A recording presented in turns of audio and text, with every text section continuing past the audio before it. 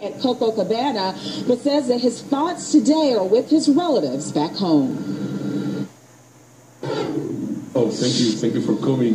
Hopefully you enjoy the Cuban food. Joel Ferrer loves to do what he does best, cook and serve. The Cuban roasted chicken with yellow rice and fried sweet plantain. It's a hobby turned career that brought him close to Cuban leadership. He says he once worked as a chef for former Cuban dictator Fidel Castro. He shared these pictures of his culinary group with the leader.